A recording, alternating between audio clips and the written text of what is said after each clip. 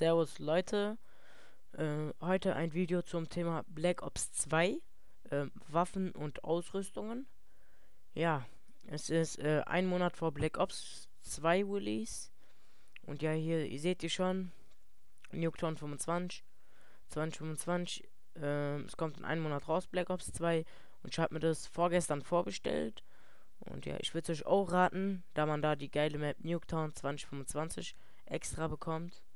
Und ja, zwar schon meine Lieblingsmap bei Black Ops 1, Nuketown, also das normale Nuketown. Schön Quickscope und so, ihr wisst Bescheid. Ja, jetzt Nuketown 2025, mal schauen, wie es wird. Und ja, ich präsentiere euch heute hier die Waffen. Und ja, das ist hier alles auf der ähm, Call of Duty Community Website. Die schreibe ich nochmal in den Link rein, in die Videobeschreibung. Könnt ihr euch auch nochmal hier alles in Ruhe anschauen. Und ja, gucken wir jetzt mal. Also die erste Waffe ist hier die M8A1. Die sieht so aus. Die hat man schon im, im äh, Kampagnentrailer gesehen. Ja, im Kampagnentrailer hat man die auf jeden Fall gesehen. Das ist. Also hier so sieht die Waffe aus. Das ist eine sehr schöne Waffe auch. Auch wenn ich jetzt noch nicht mit der gespielt habe. Sie sieht schon ordentlich sehr gut aus. Hier sehen wir nochmal die aus so einer anderen Perspektive. Hier so sieht die normal aus. Und ja, hier mit einem Rotpunktvisier. Tja.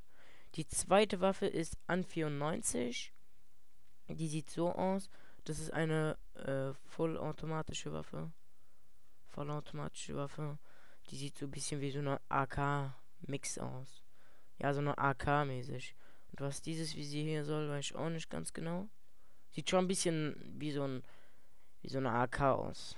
Ja, ich kann euch nicht zu jeder Waffe so viel sagen, da ich die Waffe auch zum ersten Mal sehe. Ich kann euch nur sagen, was ich über die Waffen weiß und wie die aussehen und sowas. Ja, hier sehen wir nochmal die Waffe mit einem. Hier hat die so ein schönes Visier. Und hier sehen wir auch, wie der gerade nachladet. Ne? Die nächste Waffe ist die SKH. Die sieht so aus. Das ist auch eine automatische. Das ist wie ein MW3, die SKL. Das ist genau dieselbe Waffe. Ja, das müsste genau dieselbe Waffe sein. Hat nur einen äh, anderen Namen. Ja, SKL von MW3 kennt man. Die nächste Waffe, Typ 25, ist eine vollautomatische. Das ist wie die Typ 95 in MW3 wieder. Also man merkt schon viele Waffen von vom Vorgänger MW3. Und was ich hier nicht richtig verstehe, also die äh, Typ 95 hat ja immer so war ja Halbautomatik. Und die ist Automatik, da frage ich mich, wieso ist die Vollautomatik und die Typ 95 eine halbautomatische Waffe, aber ja, werden wir dann sehen beim Release. Die hat die auch so ein schönes Visier. Das ist so ein Doppelvisier. Hier oben sehen wir das. Hier ist so ein Visier. Hier ist ein Visier und hier auch. Ja. Die nächste Waffe ist die SWAT 556. Die kommt aus dem schönen Switzerland, aus dem schönen Schweiz. Und ja, die ähnelt schon wie im Black Ops der Final. Wenn ich mich recht erinnern könnte, ja, die Final müsste das eigentlich sein. Nur hat einen komischen Namen. Das ist, ja, drei, drei Runden. Also, das schießt immer dreimal. Also, drr, drr, drr, so, wisst Bescheid. Ja, hier sehen wir nochmal, wie die Waffe so aussieht, ne? Okay, jetzt hier die Fall OSW. Die sieht schon sehr geil aus. Die sieht schon ein bisschen aus wie die M16. Müsste, ja, also hier mit diesen Kreisen hier. Müsste, sieht schon ein bisschen aus wie die M16. Aber so genau kann ich das auch nicht sagen. Hier mit einem Rotpunktvisier nochmal. Ja. Die nächste Waffe ist die MTAR. Ist auch eine vollautomatische Waffe. Kommt aus Israel. Und ja, hier sehen wir, wie die Waffe bei den Zombies abgeht. Sieht schon sehr nice aus. Ja. Die nächste Waffe hier, die SMR. Hm, ja. Die SMR, die kommt aus den United States. Juggernaut steht hier. Wenn ich nicht weiß, was das bedeutet. Ja, sieht schon nice aus. Also hier halbautomatisch ist die, ja. Die ist auch neu, die Waffe, also habe ich, äh, hab ich noch nie gesehen. Hier die M27. Das ist die Waffe. Die sieht schon ein bisschen aus wie die ähm, M, M1, M8A1 aus MW, aus MW3. Ja, die kommt aus Deutschland.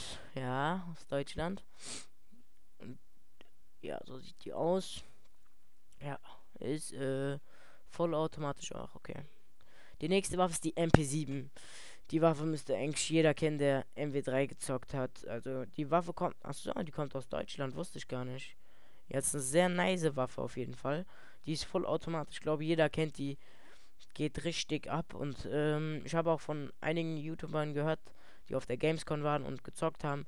Die meinten auch, dass die Waffe sehr stark ist und ein bisschen overpowered ist. Ja, die geht schon ordentlich ab. In MW3 geht die auch ordentlich ab. Mit einem Schnellfeuer und alles ist die perfekt. Ja, hier sehen wir, wie die, wie die im Game aussieht. Und ja, die nächste Waffe ist die Vector K10. Die müssten einige von euch, die MW2 gezockt haben, von da kennen. War auch eine sehr starke Waffe. Vollautomatisch wieder, kommt aus United States. Die ging auch schon ordentlich ab und hatte eine gute Feuerrate auch. Ja. Hier sehen wir, wie die aussieht. Hier die nächste Waffe ist die Chicom CQB. So der Name, so der Land China. Ja, kein Wunder. Ja, sehr. Das sieht sehr Hightech-mäßig aus. Sieht schon sehr nice aus. Sieht bisschen wie die. In diesem Bild sieht die aus, bisschen wie die FMG 9 Akimbo. Äh, FMG 9. Sorry. Ja, die sieht schon ein bisschen aus wie die FMG, also diesen Bogen hier. Sieht schon wie aus wie die FMG. Was ist denn das? Ähm, also Tui Won't Burst. Also du, Won't Burst, also das, was hier steht, heißt, das kann dreimal schießen hintereinander und dann kurze Pause und dann wieder dreimal. Ja, sieht schon on, nice aus. Und in diesem Bild sieht die hier ein bisschen aus wie die G36C aus MW3. Ja, lasst uns mal überraschen. Und wenn ich nicht mich täuschen. Ja. Die nächste Waffe ist die PDV 57 aus Belgien. Ist eine vollautomatische Waffe. Die habe ich noch nie gesehen. Aber diese Munition sieht auf jeden Fall schon sehr nice aus, wie die hier reingeht. Sieht bisschen wie die, ladet bisschen wie die P90 nach in der W3. Ja, wer P90 mit der Waffe gezockt hat, weiß, dass die hier auch so ein Magazin hat, so quer. Das sieht schon sehr nice aus. Die nächste Waffe, die Scorpion Evo 3 aus den Tschechischen Republik. Aus der Tschechischen Republik. Und ja, das ist eine vollautomatische Waffe. Sieht bisschen aus. Bei dem Bild sieht die bisschen aus. So ein Mix aus ACR und MP7. Wenn ich mich nicht. Ja, sieht schon aus wie so eine MP7 und ACR schon. So ein Mix. Mixback. Und ja, die nächste Waffe aus Indien. Ist eine vollautomatische Waffe.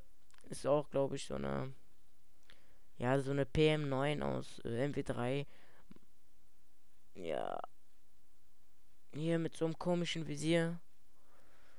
Ja. Hat auch, ja, kleine Magazine. Ja, die nächste Waffe ist die Hamre.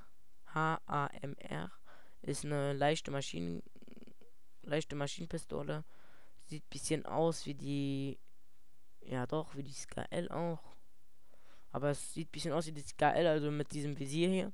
Aber das ist dann auch eine leichte Maschinengun. Und man sieht hier, die hat hier diesen runden Kasten hier. Da wo die Munition reingehen und die ladet auch sehr schnell nach. Anders als die anderen Waffen. Ja, zum Beispiel die MK48, die gibt es in jedem Ballerspiel. Gibt es die. So eine Standardwaffe, das ist so eine M60 aus MW3. Die gab es, glaube ich, in jedem Teil. Black Ops, MW2 gab es. Das ist so eine Standard leichte MG. Und ja, mit diesem komischen Visier. Und jeder weiß, die ladet, die Waffe ladet 20 Minuten nach, bis man die nachgeladen hat. Ja, stirbt man meistens, ja. Hier sehen wir, die sieht ordentlich nice aus. Ich glaube, das ist die Waffe nicht mal, wenn ich, oder? Ich weiß gar nicht, ob das die Waffe auch ist. Könnte schon sein. Okay, die nächste Waffe, LSAT, sieht auch schon wesentlich high wie so ein Hightech-Waffe aus. Ja, hier. Hier unten sehen wir so einen roten Zähler. Da steht, glaube ich, die Munition. Ja, ist auch so ein Hightech-Beast. Hier so ein schönes Rotpunktvisier draufgepackt. Ja, die nächste Waffe QBBB LSW. Man merkt schon, die komischen Namen kommen immer aus China oder aus Japan. Vollautomatik, ja, wieder eine leichte MG. Das ist so eine Art ähm, LG 36. Oder wie die Waffe in MW3 ist. LG 36 noch irgendwas. Sieht schon aus. Okay, jetzt kommen wir zu den Shotguns, zu den Pump, Pump Actions. Also hier die äh, KSG kennt man aus MW3. Das ist ähm, hier Pump Action. Ähm, ja, die kennen wir aus MW3 und ja, MW3. Die geht schon ordentlich ab und die ladet auch irgendwie so komisch nach. Ja, und die nächste ist die M1216. Sieht bis. Achso, die hat man auch im Trailer gesehen. Ja, das war die Waffe im, äh, Multiplayer-Trailer. Die ging auch schon ordentlich ab. Die ist Vollautomatik. Das ist so eine Art Striker, also die schießt du mehrmals hintereinander. Und die geht schon ordentlich ab im Trailer. Hatte die auch eine ordentliche Reichweite und hat auch, ja, guten Schaden. Ja, Waffe geht schon ordentlich ab. Hier sehen wir ja hier, da wo der den gerade tötet. Und dann hier oben in das Fenster hier so ein C4 reinwirft, kennen wir, glaube ich, alle aus dem Trailer. Ja. Auch wenn die Waffe hier oben ein bisschen aussieht, die, die PP90. Wie so eine Dildo-Gun. Wie die einige nennen. PP90 M1. Dildo-Gun. Ja, die nächste Waffe, Saiga 12 aus dem schönen Russland. Ist Halbautomatik. Ja, die Waffe kenne ich nicht. Das ist, glaube ich, so eine AK-47U in der Art. Mit dem Visier und so sieht schon aus. Hier die R870 MCS. Was das für eine Waffe ist, weiß ich nicht. Achso, eine Pumpgun soll das sein. Achso. Ja, das ist so eine Pumpgun. Wie hieß die Nummer in Black Ops? Ähm. Wie hieß die Nummer? Egal. Auf jeden Fall, ich glaube, jeder weiß, welche ich meine. Diese Pumpgun komische. Und hier sehen wir schon eine erste Map. Hier steht Terminal. Terminal. Ähm, ja. Es wäre schon nice, wenn hier so eine Map geben würde. Terminal wie in MW3 und MW2. Und ja, hier der Nachbar von dem hat hier so eine Sandwich, ähm, hat hier so ein, also ein Black Ops dieses Todesbringer, Death Machine. Ja, geht schon ordentlich ab, aber dazu später mehr. Ja, hier sehen wir die, auch wenn ich gerade den Namen vergessen habe von der Waffe. Ja, jetzt kommen wir zu den Snipen, zu den Quickscopes, Suchtis unter euch. Hier die Sniper Worthless Ballista heißt die, aus Belgien und Deutschland. Die wurden sich, glaube ich, hier nicht einig. Äh, oder die haben die zusammen produziert. Hier für die Quickscoper unter euch. Eine sehr schöne Waffe. Ja. Sieht ein bisschen aus wie die MSR. Es hat irgendwie auch so ein Mix MSR und MSR und L118A. Ja. Und hier sieht die ein bisschen aus wie die ACR oder wie die Final. Ja, also die kann man auch ohne Visier zocken. Ohne Visier sieht irgendwie so overpowered aus. Aber ja. Nächste Waffe DSR 50, wieder aus Deutschland. Das ist so eine. Wie hieß die Waffe? Ja, so eine Barrett Kaliber oder. Ja, ein Barrett Kaliber oder so ist das in der Art. Nächste Waffe ist Wu AS. Das ist so eine RSASS, ich glaube. Ein paar kennen die von MW3, diese, wenn man zielt, man sieht es dann, also nicht so nah, sondern ein bisschen von Distanz, aber die hat auch ordentlichen Schaden. Halbautomatik hier, Bilder, ein paar. Ich, ich kann nicht zu allen Waffen etwas sagen, weil ein paar Waffen sehe ich jetzt zum ersten Mal. Die XPR 50 und Country ist nicht bekannt. Und das ist, glaube ich, so eine. Ja, was ein Sniper ist das? Ich kann auch nichts mehr dazu sagen. Hier steht es auch. Ja, geht schon ordentlich ab, glaube ich, die Waffe. Also auf jeden Fall, es gibt hier drei, vier Snipen. Auch schon nice. Und ja, zur nächsten Passion Cup 40. Das ist äh, die USP. Wie hieß die Nummer? Die USP 45? USP 45, ja. Das ist die Standard. Ähm, ja, die Standard. Aber was mich hier wundert, dass die Vollautomatik ist. Also automatische Waffe. Oder dann ist es eher so eine G18 aus MB3, die so richtig oft hintereinander schießt, eine höhere äh, Feuerrate als FMG 9. Und ja, hier sehen wir den Action, also einen G18 müsste das sein. Hier die 5.7, das ist so eine Standardwaffe. MW3, so eine Tick, tick, tick, tick. Ein paar kennen die auch, aber ja. Hier sehen wir die die sieht hier schon ordentlich nice aus. Und wenn ich mich nicht irren müsste, dann ist es die Nuketown Map. Weil hier so Häuser und so sieht schon mehr nach Nuketown aus. Ja, hier zockt er gerade mit dem und steigt auch gerade hier im Level aus. Auf, auf, auf, auf, ja. Die zocken in einer Runde Herrschaft. Sieht schon sehr nice aus. Auch wenn ich oft nice sag. Alle Waffen sehen nice aus. Die nächste Waffe ist die TAC 45 aus Belgien. Ja, das ist so eine ASP oder wie die heißt in Black Ops. Was ist die? Ja, Halbautomatik. Das sind diese Standard-Handwaffen. Ja, hier die nächste Waffe, die sieht schon mehr interessanter aus. Mm, die schießt auch dreimal hintereinander. Die sieht schon ordentlich geil aus. Ordentlich geil aus. Ja, und die nächste Waffe hier, ähm, Halbautomatik Ex Ex e Execution. Hä? Executioner. Sorry, mein Englisch ist nicht so gut. Executioner. Exe Execution. Ne. Ja, das ist so eine Python. Und die sieht schon mehr Hightech aus. Also eine Python in der Art. Ja, hier das Bild ist irgendwie weg. Ich weiß auch nicht wieso. Die nächste Waffe, also die äh, Werfer, hier die Small. Also Raketenwerfer hier Standard wie in MW3. Das ist auch irgendwie un. Das sieht genauso aus wie ein MW3. Einfach rauskopiert und eingefügt. Und die RPG haben die schon ordentlich rangebastelt. Die sieht schon ordentlich gut. Also die sieht auf jeden Fall sehr Hightech-mäßig aus. Hier diese Spitze und so sieht schon geil aus, weil die gibt's auch fast in jedem Shooter-Spiel und die sieht immer gleich aus. Aber hier sieht die schon geil aus und hier hat er irgendwie so ein in der Hand so ein Raketen. Ja, die nächste Waffe, FHJ-18AA, die haben wir auch im Trailer gesehen, als er diese Drohne abschießt. Das ist auch so ein Hightech-Raketenwerfer. Hier schießt er diese Drohne ab. Und ja, das geht ganz schnell. Dieser Drohne. Ja, und die nächste Waffe, wo ich mich auch sehr gefreut habe, Crossbow. Armbrust, wie in Black Ops Zeiten. Das ist wirklich eine sehr geile Waffe. Mit der hat es auch richtig Spaß gemacht. Armbrust. Richtig geil. Richtig geile Waffe. Aber die sieht ja irgendwie so anders aus, so Hightech-mäßiger. Mäßiger, mäßig, mäßig, mäßiger, mäßig. Ja.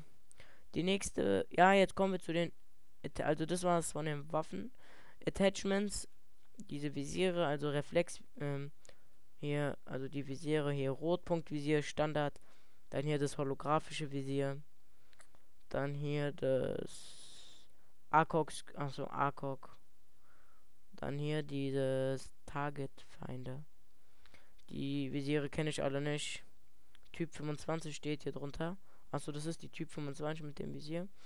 Hier die nächste ist so ein Visier. Das kenne ich auch nicht. Das hat irgendwie zwei Visiere. Eins hier oben und eins hier oben. Eins hier unten. Oder ist das irgendwas anderes? Ja, Hybrid Visier. Achso, ja, das kennen wir. Ah. Okay, das ist einfach so ein Rotpunkt-Visier, aber mit so einem anderen Visier, also mit so einem anderen Punkt. Ja, das kennen wir aus MP3. Die I suppressor keeps you off the road. Okay, ich weiß jetzt nicht gerade, was das heißen soll. Aber vielleicht dieses Laser? Nein. Ja, egal, ich weiß es eben nicht. Fastmac, ähm, diese doppelte Magazine, die hier so zusammengebastelt sind mit irgendwie so einem Tesafilm oder so ein Panzerkleber und einfach da. Der zieht die raus, die äh, Munition, dreht sie und steckt sie wieder rein. Sieht schon fast Mac heißt das. Sieht schon sehr geil aus. Hier, Grip. Hier die MP7 hebt er gerade auf. Super, ich weiß wirklich nicht, was das ist. Wenn ihr Englisch könnt, könnt ihr das da lesen. Ich kann zwar auch Englisch, aber ich verstehe den Sinn daran nicht. Oder einfach hier kopieren und dann bei Google Übersetzer einfügen, könnt ihr auch lesen. Das nächste Visier ist Laser Visier. Gab es glaube ich auch noch nicht in anderen in anderen Call of Duty Teilen, oder? Irre ich mich gerade. Egal. Ja, Laser auf jeden Fall. Hier das äh, the player to move faster while aiming. Achso, das ist so ein Visier. Hier steht The stock allows the player to move faster will. Das ist dann ähm, so ein ja, so ein Stalker, also dass man beim Zielen schneller laufen kann. Das haben die jetzt so als Aufsatz gemacht und nicht mehr als Perk. Quick Ja, damit kann man seine Waffen schneller wechseln und nachladen. Glaube ich. Ja, das nächste ist hier irgendwie weg. Und ja, die Tuber unter euch werden sich jetzt freuen. Hier, es wird werden wieder Granatenwerf äh, Granatenaufsatz geben. Ja, Noob-Tuber. Ja. Auch wenn ich von so einem Scheißteil nichts halte. Ja, das könnten die aber ruhig bei Hardcore-Modus ruhig entfernen. Das größte, größte, größte Kack. Grenade Launcher. Sollen mal aus dem ganzen Spiel entfernen. Scheiß Noob-Tuber. Egal. Ähm, Select Fire. Das ist ganz Select Fire Switch to Okay, das weiß ich jetzt wirklich nicht, was das ist. Ich glaube, das irgendwie, dass man die Waffen wechseln kann. Irgendwas. Irgendwie von wechseln, von, dass man verschieden wechseln. Hä? Egal. RMG, ja, das ist so, ähm, dass das, ähm, mehr Material durchdringen kann. Also, wie bei MW3 ja, kein Plan jetzt, wie das richtig heißt. Auf jeden Fall kann man damit durch leichter durch Materialien schießen. Das nächste ist Extended Clip. Das hat irgendwie. Achso, ja, damit hat man 50% mehr Munition, glaube ich. Rapid Fire, schneller. Schnellfeuer, kennt, glaube ich, jeder. Das nächste ist Dual Band. Das ist, sind, glaube ich, so. Äh, so, das ist das Thermal. Also dieses Weiße da. Also dieses Thermal. Kennt, glaube ich, jeder aus MB3. Ballistic Computer, das ist irgendwie neu. Das ist irgendwie so ein. Achso, ich glaube, das ist dieses Visier, wo man durch Wände schauen kann. Wallhack. Wo man durch Wände schauen kann. Das hat man ja auch im Trailer gesehen. Ja, variabel Zoom, ich glaube, das kennt jeder. Bei Snipen, wenn man zoomt, dann kann man noch einmal R3 drücken. Oder auf der Xbox irgendwas anderes. Auf der PS3 R3. Dann zoomt es noch näher ran. War schon nice. Hier Dual Wild, Akimbo. Ja, brauche ich auch nichts zu sagen. Das ist einfach Akimbo. Zwei Waffen in der Hand, einen der linken, einen der rechten. Und dann ab geht die Post. Das nächste ist das Eon Side Attachment. Das weiß ich gar nicht, was das ist. Das ist so ein. Ja, irgendwie so ein Visier, komisches Visier. Okay, jetzt kommen wir zu den Granaten, also zu den Ausrüstungen. Äh, ja, eine normale Granate, die sie hat sich ein bisschen geändert. Die hat hier so Kanten und Ecken. Anders als bei Black Ops und MP3. Die sieht anders aus. aus. Dann die Semtex Standard hat sich, glaube ich, gar nicht geändert. Und dann hier das Tomahawk. Tomahawk. Tomahawk. Besser bekannt als das Wurfmesser aus MB3 und MB2 und aus Black Ops Wurfmesser, äh, Tomahawk. Das ist sehr geil und hat sich auch ein bisschen verändert. Claymore Standard M18 Claymore. Ja, man steckt es in den Boden rein und wenn jemand drüber läuft, dann explodiert das. Ja. Und äh, nächstes C4. Also, ich erkläre euch das mal. Man hat eine Bombe in der Hand. Die schmeißt man weg. Und die hat einen Zünder. Man läuft damit weg. Klick auf, klickt auf den Knopf drauf. Und bumm macht es. Und der Gegner stirbt, wenn er in der Nähe ist. Das nächste ist, ähm, Bounty Bounty ist Expeni. Ja, und ähm. Ja, das da ist, glaube ich, so eine Art S-Mine, die man in den Boden rein, also die man so auf den Boden wirft und die dann so hoch geht und dann explodiert. Kennt jeder aus MW3. Okay, jetzt kommen wir zu den ähm, Tactical Grenades, also zu den Granaten. Flashbang blendet Leute. Conclusion Grenade, das ähm, ja, das blendet auch Leute. EMP-Granaten, damit kann man Geschütz etc. zerstören. Smoke-Granat, damit kommt so eine riesige ähm, Rauchwolke. Okay, jetzt kommen wir zu den Neuheiten. Shock Change ist zum Beispiel neu. Das wirft man, das ist wie so ein Tomahawk in der Art, das wirft man und dann, äh, wenn es dann im Boden stecken bleibt, dann explodiert das und der Gegner kriegt so einen leichten Schock. Ja, hier ist so ein Bild davon. Ja, hat man auch im Trailer gesehen. Ja, nächste ist Sensorgranat. Anders als bei Black Ops und bei MW3 ist es, also bei MW3 war es ja so ein tragbares Radar, bei Black Ops so ein Teil, was man in den Boden reinsteckt und das dann äh, Gegner findet. Hier ist es halt so ein Granate, das wirft man und dann zeigt es halt, deckt es halt die Feinde auf. Also in so ein kleiner Umgebungszeit, dann ist wie so eine Drohne in so einer kleinen Umgebung. Umgebung. Tactical Incitation ist Tra ähm, Taktikeinstieg. Das sieht schon sehr nicer aus als bei äh, MB3 Black Ops. Das ist so ein wie so ein kleines Handy, Das drückt man einmal drauf und dann, ja. Ich habe es jetzt auch noch nicht gesehen. Ich habe es nur vom Trailer gesehen. Äh, Taktikeinstieg, ja. Black Hat, das ist Hacker. Damit kann man zum Beispiel Vorrichtung etc. hacken. Ich weiß jetzt nicht, was man noch hacken kann. Ja, das war's eigentlich. Sieht schon sehr geil aus. Das nächste ist das Trophy-System. Müsste eigentlich der ein oder andere kennen aus MW3. Das ist so ein Teil, das steckt man in den Boden rein. Und wenn jemand da was hinwirft, zum Beispiel, also Anti-Explosion. Also wenn man zum Beispiel Granaten dahin wirft, dann zerstört dieses Trophy-System das. Oder wenn eine Predator auf dich fliegt, dann zerstört das das auch. Also, ja, Trophy-System. Und hier Combat Knife, das ist, ähm, das ist einfach so ein Messer. Also ich glaube, ich weiß nicht, ob bei Black Ops, dass man immer noch messern kann mit R3, dass er einfach da Messer. Oder ich glaube, jetzt muss man sogar die Waffe wechseln, dass er so ein Messer auspackt und damit einen umbringen. Ja. Okay, dann hier so ein Schild. Das ist war auch, also das sieht sehr overpowered aus. Steckt man im Boden rein, gibt hier Schutz und man kann irgendwie durchschießen.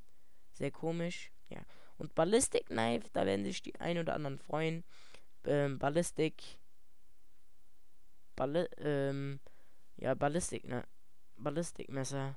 Dieses, diese zwei Messer, die man in der Hand hält. Und dann, man, man kann damit irgendwie so schneller messern. Und wenn man auf den Knopf drückt, also wenn man R1 klickt, dann schießt er so ein Messer. Ich weiß zwar nicht, ob das, das ähnlich ist, also müsste schon sein. Hier Titos 6, das ist irgendwie so ein was soll das sein? Das ist, achso, das ist eine Spezialwaffe aus dem Black Ops 2 Singleplayer. Ja, das gibt's glaube ich nur im Singleplayer, Multiplayer nicht. Und dann die Death Machine, das ist aber eine Abschussserie. Kennt man, also Todesbringer. Da war ja vorhin schon ein Bild. Das sieht so, das sieht so aus. Hier zocken die gerade Todesbringer. Ja, das ist eine Abschussserie, also keine Waffe, sonst würde sie jeder nehmen. Das ist einfach eine Abschussserie, ja. Und dann hier so ein äh, War Machine. Das ist so eine Art Granatenwerfer. Also so sieht es zumindest aus. Ja, das ist auch ein ähm, ja, Granaten. Ja, das ist auf jeden Fall ähm, auch eine Abschussserie. Ja, das, die sieht so aus. Ja, das war's eigentlich. Ja, ich schicke euch den Link nochmal in die Videobeschreibung. Also, hier kopieren. Den schreibe ich euch nochmal in die Videobeschreibung. Könnt ihr auch nochmal von da schauen. Ja, ein oder andere YouTuber hat das auch schon gemacht. Zum Beispiel Under Serial hat schon gemacht. Ich weiß nicht, welche anderen, ja. Ja, Leute. Ähm, ja. Okay, Leute, wenn es euch gefallen hat, abonniert oder gebt einen Daumen hoch. Und wenn es euch nicht gefallen hat, dann ähm, gebt einen Dislike. Entschuldigung, ich bin ein bisschen erkältet und habe auch ein bisschen Schnupfen, aber Okay, Jungs und Mädels, ciao, bis zum nächsten Mal. Tschüss.